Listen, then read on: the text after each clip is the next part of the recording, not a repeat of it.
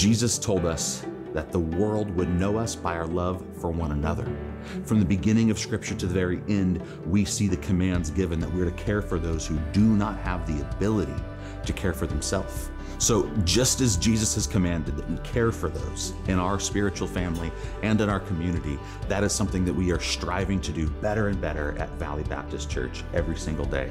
Our care ministry entails prayer, benevolence, recovery, counseling, and a whole other multitude of forms of support that maybe don't fit into one clean category. We want to care for everybody in our church family to the best of our ability.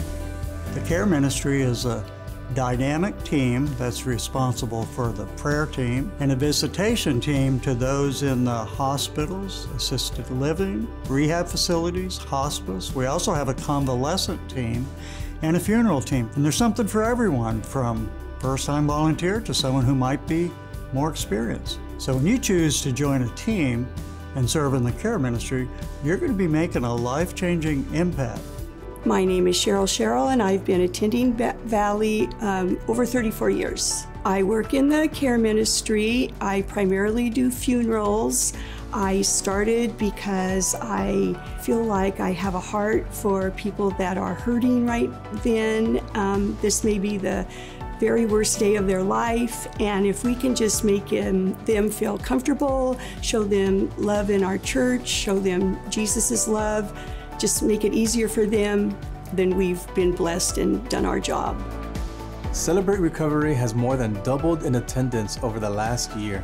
It takes a dedicated team of volunteers to help people find healing and hope. Whether you can offer a listening ear, help with our youth ministry, media, or with our weekly dinners, you can make an impact. Together, we can continue to build a community of support, love, and recovery for people when they need it most. My name is Linda C., and I'm a grateful believer in Jesus Christ. And I have attended Valley Baptist for about two and a half years. And um, I serve in the kitchen at Celebrate Recovery. And right there, it puts me in a position where God can use me for His purpose and to bless others. I'm able to greet, encourage, uplift, and remind the precious individuals that are coming through our dinner line about God's unconditional love and grace. We've been able to give you a tiny snapshot of what our care ministry here at Valley Baptist looks like. So, if you want to be a part of this ministry, if you find yourself as a merciful, compassionate person who wants to meet real, physical, tangible needs and see a difference, then I encourage you to text the word TEAMS to 88988. You will not be disappointed. So, please join us and be a blessing.